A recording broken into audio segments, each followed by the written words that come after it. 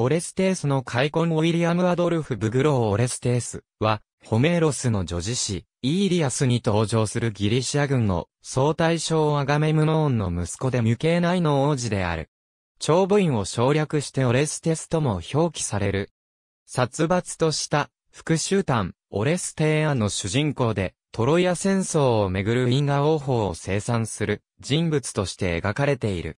子供の頃に母クリュタイムネーストラーとその情夫、アイギストスによって、父アガメムノーンを殺され、自身も命を狙われるが、姉エレクトラーの手引きで脱出する。成長したオレステースは、いとこのピュラーデスを伴い父の仇であるアイギストスを殺し、ついで息子に命乞いをする実母、クリュタイムネストラーを手にかけた。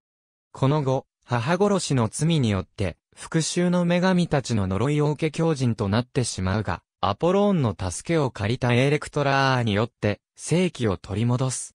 オレステースは、自分の犯した殺人の正否を問うため、アレオパゴスの丘で、神々の裁判を受ける。神々の意見は二つに割れたが、アポロンとアテーナーがオレステースを弁護したため無罪となる。神々の許しを得たオレステースは、さらなる復讐の旅に出かける。まず自分の義理のおばでありトロイア戦争のきっかけとなった美女、ヘレネーを殺した。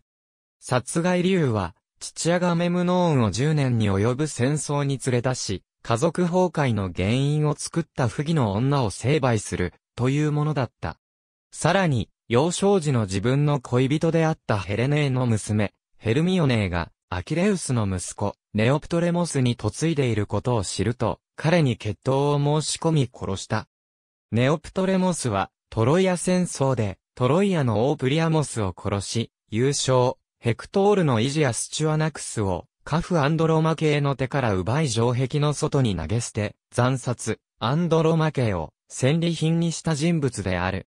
そのため、ヘレネーと同様に、トロイア戦争での行いの報いを、オレステースの刃によって受ける形になっている。その後、オレステースは、ミュケー内に戻りようとなり、スパルタの王であるギフ・メネラオスの守護は、スパルタ王も兼任した。ありがとうございます。